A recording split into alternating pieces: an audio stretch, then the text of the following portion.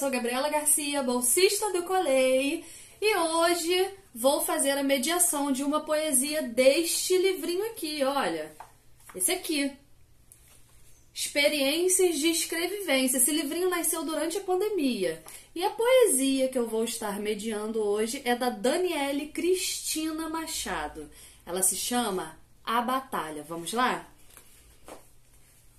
Ela deseja mudar, mas está cercada pelo medo. Tem receio do julgar, traz na cabeça mil segredos. Decidiu no íntimo manter suas raízes, permitir todo seu corpo fluir, caminhar devagar junto às matrizes, sem saber certo aonde ir. As palavras amargamente entraram na sua mente, a fizeram prisioneira. Arrebentar essas correntes não se dá tão facilmente, pode levar uma vida inteira.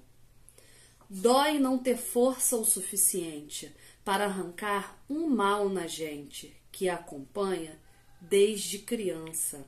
Ela é fênix resiliente, curando uma ferida latente, mantendo as chamas da esperança.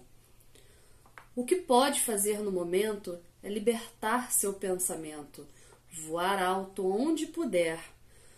O cabelo, a qualquer tempo, deixará de ser um tormento.